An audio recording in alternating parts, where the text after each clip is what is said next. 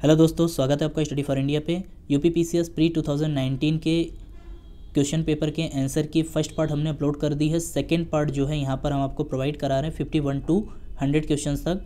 तो आइए स्टार्ट करते हैं। फ़र्स्ट क्वेश्चन यहाँ पे फिफ्टी वन ये सी सीरीज़ का पेपर है। फिफ्टी वन किसने कहा था कि भारत एक अर्धसंघात्मक राज्य है, यानी अर्धसंघी राज्य है? तो यहाँ पर के सी विहर ने कहा था कि अर्धसंघी राज्य है। नेक्स्ट नेक्स्ट क्वेश्चन है आपका फिफ्टी टू के राष्ट्रीय सामाजिक सहायता कार्यक्रम में गरीबी रेखा से नीचे यानी कि बिलो पॉवर्टी लाइन बीपीएल के नीचे निम्न कार्यक्रम में सम्मिलित नहीं है। तो देखिए यहाँ पर राष्ट्रीय परिवार लाभ कार्यक्रम ये भी शामिल नहीं है यहाँ पर, अन्नपूर्णा भी नहीं शामिल है, महिला किसान सशक्तिकरण योजना भी शामिल नहीं है। एक्चुअली में ये है एन जिसकी जो 15 अगस्त 1995 को 15 अगस्त उन्नीस सौ पंचानवे को स्टार्ट किया गया था। इसमें जो क्या क्या शामिल है, वो चीज़ें हम आपको बता दे रहे हैं। इसमें एज्ड पर्सन के लिए शामिल है विडो यानी विधवाओं के लिए शामिल किया गया है डिसेबल्ड पर्सन इसी तरह एक्सेट्रा कई चीज़ों को और शामिल किया गया है, लेकिन इन तीनों चीज़ यहाँ पर शामिल नहीं है। तो इसका राइट आंसर होगा डी उपरोक्त सभी। नेक्स्ट है आपका 53 निम्न घटनाओं को कालानुक्रम में व्यवस्थित करना है। तो महाराजा हरि सिंह ने विलय पत्र पर हस्ताक्षर आपको पता है 26 अक्टूबर 1947 में किया था। भारत संविधान थर्टी ट्वेंटी जनवरी 1950 में लागू हुआ था।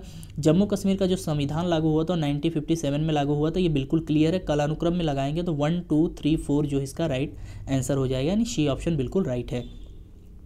नेक्स्ट है आपका कथन कारण है कि केंद्रीय कानूनों को का संवैधानिक वैधता के संबंध में भारत का सर्वोच्च न्यायालय की अनन्य अधिकारता है, बिल्कुल राइट है।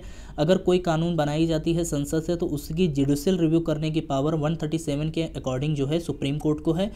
सर्वोच्च न्यायालय भारतीय संविधान का संरक्षक है, बिल्कुल संरक्षक है तो कथन कारण बिल्कुल सही है और इसकी सही व्याख्या भी है। नेक्स्ट है आपका 55 कि भारत में राष्ट्रीय पंचायती राज दिवस मनाया जाता है, या ट्वेंटी अप्रैल को मनाया जाता है। नेक्स्ट क्वेश्चन है 56 के बयालीसवें संविधान संशोधन द्वारा किस अनुच्छेद के माध्यम से श्रमिकों के प्रबंधन में भागीदारी सुनिश्चित की गई है? तो आर्टिकल 43 ए को में इसको सुनिश्चित किया गया है, श्रमिकों के प्रबंधन में भागीदारी। इसको बयालीसवें संविधान संशोधन द्वारा जोड़ा गया है आर्टिकल 43 ए को। नेक्स्ट क्वेश्चन है, संविधान की प्रस्तावना का विधिक स्वरूप क्या है? What is the legal nature of the preamble of constitution यह लागू नहीं किया जा सकता है। इसको आप नेट पे सर्च करिएगा, बिल्कुल आप निकल कर आएगा इसमें कि इसे लागू नहीं किया जा सकता है। यह विधिक स्वरूप यही है फिफ्टी सेवन का। फिफ्टी एट क्वेश्चन है, भारतीय संविधान के अनुच्छेद एक सौ बासठ यानी आर्टिकल वन सिक्सटी टू में क्या है? तो राज्य की कार्यपालिका शक्ति का विस्तार जो है आर्टिकल वन सिक्सटी टू में डी ऑप्शन इसका राइट है।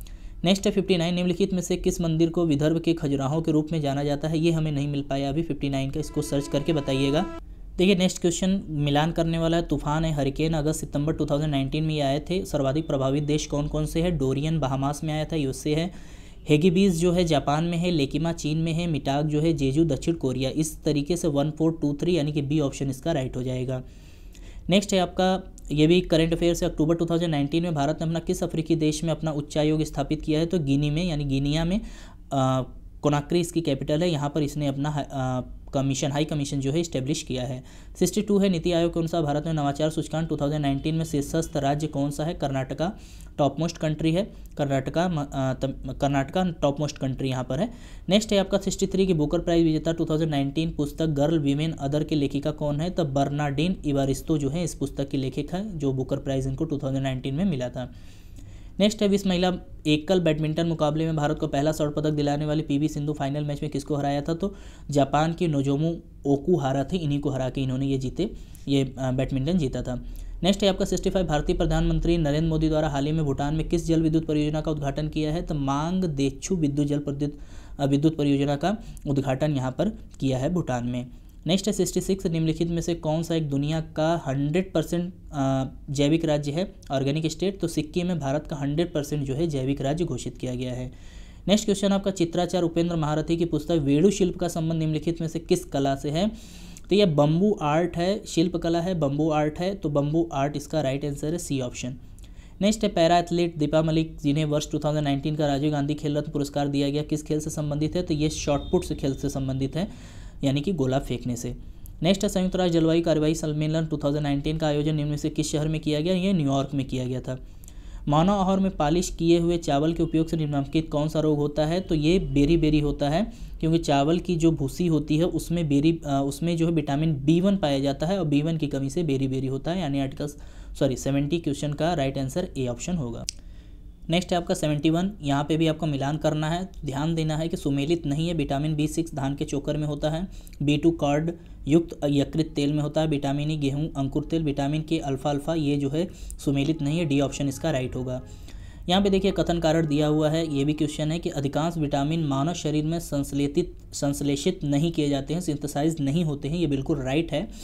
कारण है कि मानव अंग केवल अनिवार्य सूक्ष्म पोषकों का ही संश्लेषण करते हैं। तो ये थोड़ा सा डाउट पे क्वेश्चन है, इसमें स्टार हम लगा देते हैं। इसको आंसर आपको पता होगा तो हम कमेंट बॉक्स में पिन कर देंगे। सेवेंटी थ्री क्वेश्चन है, केवलार, ये सिंथेसाइज्ड फाइबर है। जिंक फॉस्फाइड रोडेंटिसाइड है, क्योंकि चूहे का विष होता है जिंक फॉस्फाइड इसके बाद टेक्सॉल देखेंगे तो टेक्साल एक कैंसर रोधी दवा है। और नाइट्रोसेलुलोज देखेंगे तो यह एक विस्फोटक है एक्सप्लोसिव है। तो इस हिसाब से इसका बी ऑप्शन राइट हो जाएगा। नेक्स्ट है निम्नलिखित में से किसी वस्तु के नमूने को हवा में खुला रखने पर कुछ समय पश्चात गायब हो जाता है, जैसे कपूर है नेफ्थलीन है, शुष्क बर्फ़ है, इस परिघटना को हम सब्लिमेशन कहते हैं, यानी कि ऊर्ध्वपातन। 75 क्वेश्चन है कि प्रकाश ऊर्जा का ऑप्टिकल फाइबर में संचरण निम्नलिखित घटना के अनुप्रयोग द्वारा किया जाता है टोटल इंटरनल रिफ्लेक्शन होता है, पूर्ण आंतरिक परावर्तन। नेक्स्ट क्वेश्चन है सेवेंटी सिक्स इंजाइमों के संदर्भ में निम्न से कौन सा कथन सही है? वे बायोकैटलिस्ट होते हैं, बिल्कुल। वे शरीर में उसी स्थान पर कार्य करते हैं जहाँ वे उत्पादित होते हैं। ये भी बिल्कुल राइट है, इसका वन और टू सेकेंड वन और टू दोनों सही है। क्योंकि टाइलिन अगर लार में निकल रहा है लार से टाइलिन है तो वो मुँह में ही आपके जो भोजन है, उसको पचाने का कार्य करता है। तो जहाँ वो रिलीज़ होते हैं, वहीं पर कार्य करते हैं। नेक्स्ट है आपका माँ का दूध। नवजात को लगभग संपूर्ण आहार प्रदान करता है, किंतु इसमें निम्नलिखित का अभाव होता है। तो ये इसका थोड़ा सा हमें डाउट है तो इसको आप कमेंट बॉक्स में बताइएगा। नेक्स्ट सेवेंटी एट निम्नलिखित पदार्थों में से उनके पहली बार प्रयोगशाला में संश्लेषण के कालानुक्रम में स्थापित करना है। तो सबसे पहले देखिए, यहाँ पर केवलार को सर्च किया गया था, फिर इसके बाद ब्लैक गोल्ड है फिर इसके बाद सेकेंड ऑप्शन आपका फुलेरिन है। लास्ट में जो ग्रेफिन एक पतली सी कार्बन का ही अप्रूफ है एक तरीके से, इसको खोजा गया है सबसे लास्ट में और लेटेस्ट सर्च अगर देखा जाए तो ग्रेफिन ही है। तो ग्रेफिन सबसे लास्ट में आएगा तो इसका डी ऑप्शन बिल्कुल राइट है। नेक्स्ट है बिब्लियोमेट्री क्या है? तो बिब्लियोमेट्री लाइब्रेरियन इन्फॉर्मेशन साइंस से रिलेटेड है, लेकिन यहाँ पर क्लियर नहीं हो पा रहा है कि इन्फॉर्मेशन साइंस भी है, इसमें लाइब्रेरी भी है। तो इसमें राइट आंसर क्या होगा? ये थोड़ा सा कन्फ्यूज़न है। लाइब्रेरी इन्फॉर्मेशन साइंस दोनों से रिलेटेड जो है बिब्लियोमेट्री है। नेक्स्ट निम्नलिखित में से कौन सा एल्बिटो से संबंधित है? तो रिफ्लेक्टिंग पावर जो होती है, वापसी की शक्ति जो सूर्य की किरणें आती है, जब वापस होती है, उन्हीं को हम एल्बिडो कहते हैं। एट्टी नंबर का क्वेश्चन है ये। नेक्स्ट है एट्टी वन, गहरी कार्बन वेशाला ये हमें नहीं मिला है, इसको हम छोड़ देते हैं। नेक्स्ट है एट्टी टू, निम्नलिखित में से कौन सा सही सुमेलित नहीं है? कॉटोजेना प्रोटोकॉल बायोसेफ्टी रिलेटेड है। स्टॉकहोम सम्मेलन अनवरत जैविक प्रदूषक रिलेटेड है। मॉन्टियन प्रोटोकॉल 1947 ओजोन परत से रिलेटेड है। क्योटो प्रोटोकॉल जलवायु परिवर्तन से रिलेटेड है। न कि जल संरक्षण से तो डी ऑप्शन इसका राइट हो जाएगा। उष्णकटिबंधीय देशों में तितलियों की प्रजाति सर्वाधिक संख्या में पाई जाती है। बिल्कुल, तितलियाँ कम तापमान में नहीं रह सकती हैं, क्योंकि ध्रुवों की तरफ़ जाएँगे, तितलियाँ जो है वहाँ पर ख़त्म हो जाएँगे, तितलियाँ वहाँ दिखेंगी नहीं। इसलिए इनको जो है एवरेज टेम्परेचर की आवश्यकता होती है। इसलिए ए आर दोनों सही है और ए आर की, जो आर जो है ए की सही व्याख्या है। एटी फोर है पारिस्थितिक तंत्र में एक पोषी स्तर से दूसरे पोषी स्तर स्थान। ये लिंडेमान का टेन परसेंट नियम है तो धीरे धीरे ऊर्जा जो है, जैसे ट्रांसफ़र होती है, वो टेन परसेंट लॉस होती जाती है तो घटती है। बी ऑप्शन इसका राइट होगा। एटी फाइव नंबर क्वेश्चन निम्नलिखित में से कौन सा जैविक नाइट्रोजन निर्धारण करता है? तो ब्लू ग्रीन एलगी जो है, जैविक नाइट्रोजन का निर्धारण करता है। एटी सिक्स क्वेश्चन है स्मॉग पूछा है कि स्मॉग जो धुआँ होता है, आवश्यक रूप से वायुमंडल निम्नलिखित किसकी उपस्थिति के कारण होता है? तो नाइट्रोजन और सल्फ़र डाइऑक्साइड का मिक्सचर होता है। इसकी उपस्थिति के कारण जो है स्मॉग बनते हैं। Next eighty seven, global five hundred पुरस्कार किसके द्वारा दिया जाता है? यूनाइटेड नेशन इन्वायरमेंटल प्रोग्राम के द्वारा दिया जाता है और यह पर्यावरण इन्वायरमेंट कंजर्वेशन से रिलेटेड यानी बी ऑप्शन इसका बिल्कुल राइट होगा। 1972 में यूएनपी की स्टेबलेशन हुआ था। श्याम बीवर यानी ब्लैक होल किससे रिलेटेड है? तो ब्लैक होल जो है एक कोलेप्ट स्टार है, ठीक है? डी ऑप्शन इसका सही होगा, सिमट गया तारा है। एट्टी नाइन क्वेश्चन है। भारत में सबसे अधिक जैव विविधता संपन्न क्षेत्र है। तो पश्चिमी घाट जो हमारा है, सबसे अधिक बायोडाइवर्सिटी जो है, वहीं पर रिच बायोडाइवर्सिटी सबसे अधिक वहीं पाई जाती है। तो सी ऑप्शन इसका राइट हो जाएगा। नाइन्टी क्वेश्चन निम्नलिखित में से कौन सा भारत में सतत विकास लक्ष्यों के कार्यान्वयन के लिए एक नोडल संस्था है? तो सतत विकास जो एस प्रोग्राम है, इसके लिए सस्टेनेबल डेवलपमेंट गोल इसके लिए नीति आयोग जो है नोडल एजेंसी है। नेक्स्ट है, लघु उद्योग के लिए बनी निम्न समितियों को कालानुक्रम को व्यवस्थित कीजिए। अभी हालाँकि इसको अभी हम खोज नहीं पाए हैं, ये सभी समितियाँ जो है लघु उद्योग यानी कि एमएसएमई से रिलेटेड है। इसको जो है अभी हम क्रम में बता देंगे कि क्या है। नेक्स्ट है आपका 92 क्वेश्चन है कि ये भी कार्यक्रम है, वर्ष है तो आईसीडीएस जो है 1975 रिलेटेड है। इसके अलावा जो है राष्ट्रीय ग्रामीण स्वास्थ्य मिशन जो एन एच आई थी, वो 2005 में आई थी तो डी का तीसरा और बी का पहला, इससे आप मिला लेंगे तो सी ऑप्शन बिल्कुल राइट हो जाएगा।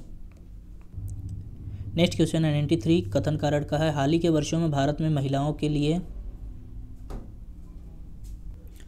श्रम की भागीदारी की दर में तेज़ी से गिरावट आई है तो कथन इसका बिल्कुल राइट है। कारण है, पारिवारिक आय में सुधार एवं शिक्षा में वृद्धि के कारण इस श्रम में भागीदारी दर में गिरावट आई है। तो कारण भी बिल्कुल सही है ए आर दोनों सही है आर ए का सही व्याख्या है, यानी कि ए बिल्कुल इसका राइट आंसर है। नाइन्टी फोर क्वेश्चन है, भारत में निर्भरता अनुपात डिपेंडेंसी रेशियो घट रहा है। देखिए डिपेंडेंसी जो एज है, वो zero to zero to fourteen year की है और सिक्सटी वर्ष से एबब जो जनसंख्या, वो डिपेंडेंसी है। तो डिपेंडेंसी रेशियो घट रहा है क्योंकि वर्तमान में देखेंगे इंडिया में 15 टू 59 की जो जनसंख्या सापेक्षता है, वो अधिक है। इस वजह से डिपेंडेंसी रेशियो घट रहा है। तो इसका राइट आंसर सी हो जाएगा। नेक्स्ट नाइन्टी फाइव निम्नलिखित में से कौन सा सतत विकास लक्ष्य यानी सस्टेनेबल डेवलपमेंट गोल भारत में 2030 तक सभी के लिए पानी की उपलब्धता और इसके स्थायी प्रबंधन को लक्षित करेगा? तो एस डी जी सिक्स है। इसके तहत जो है ये गोल निर्धारित किया गया है। नेक्स्ट है नाइन्टी सिक्स समृद्धि की सीमा यानी कि लिमिट टू ग्रोथ किसके द्वारा प्रतिपादित की गई है? लिमिट टू ग्रोथ जो है, ये क्लब ऑफ़ रोम के द्वारा प्रतिपादित की गई है। इसका राइट आंसर ए होगा। नेक्स्ट क्वेश्चन है 97 के वर्षा, वर्ष के अधिकांश हिस्से में बेरोजगार रहने वाले व्यक्तियों की संख्या को कहा जाता है तो ये यूजुअल स्टेटस अनएम्प्लॉयमेंट समान स्थिति की बेरोजगारी, इसका राइट आंसर होगा। नेक्स्ट है 98 कॉरपोरेट सामाजिक उत्तरदायित्व, जिसे हम कॉरपोरेट सोशल रिस्पॉन्सिबिलिटी कहते हैं। संदर्भ में कौन सा कथन सही है? ये देखिए कंपनी एक्ट 2014 ने सीएसआर को अनिवार्य बना दिया। ये बिल्कुल राइट है। तो यहाँ पर फ़र्स्ट स्टेटमेंट बिल्कुल राइट है। इसके अंतर्गत आने वाली कंपनियों को अपने वार्षिक शुद्ध लाभ का एक प्रतिशत सी गतिविधियों में व्यय करना होगा। एक प्रतिशत नहीं, दो प्रतिशत जो है गवर्नमेंट कंपलसरी कर दी है कि कंपनियों को सी जो है अनिवार्य रूप से खर्च करना होगा। Two percent minimum two percent यहाँ पे वन परसेंट इस वजह से ये स्टेटमेंट गलत हो जाएगा तो इसका केवल वन स्टेटमेंट सही है। नाइन्टी नाइन क्वेश्चन है कि जीवन की भौतिक गुणवत्ता सूचकांक पी क्यू एल आई किसके द्वारा विकसित किया गया है? तो पी क्यू एल आई जो है मॉरिस डी मॉरिस के द्वारा विकसित किया गया है। तो इसका ऑप्शन जो होगा, ए बिल्कुल राइट होगा। नेक्स्ट है आपका भारत का वैश्विक भूख सूचकांक, ग्लोबल हंगर इंडेक्स 2017 में क्या स्थान है? देखिए 2017 का पूछा गया है 2018 का भी जीएचआई आ गया 2019 का भी जीएचआई आ गया। हमको लग रहा दो तीन महीने में 2020 का भी जीएचआई आ जाएगा। पूछा गया है 2017 का। था हालाँकि इसका 100 जो है राइट आंसर है 2018 में 101 था। सॉरी 103 था। 2019 का जो आया था 102 था। इसके पहले जो है 100 था। तो 102 तो ऑप्शन में है ही नहीं तो 2019 और हट गया है। तो इसका राइट आंसर 100 है जी एच आई है। तो इंडेक्स से एक ही क्वेश्चन आए थे, वो भी 2017 से पूछा गया था। फाइनली ये दोस्तों सेकेंड पार्ट में हमने 50 क्वेश्चन कवर कर दिए हैं। थर्ड पार्ट में आपका लास्ट पार्ट में पूरा आंसर की कवर हो जाएगा। तो 99.99 परसेंट जो है क्वेश्चन हमने सही बताए हैं यहाँ पर। और बाकी नेट से भी सर्च किए हुए हैं गूगल से भी, बाकी कुछ प्रमाणिक पुस्तकों से भी खोजा गया है। तो अब आंसर की को लेके अथेंटिक रहिएगा। नेक्स्ट पार्ट बहुत जल्द प्रोवाइड कराएँगे। मिलते हैं तब तो बहुत बहुत धन्यवाद।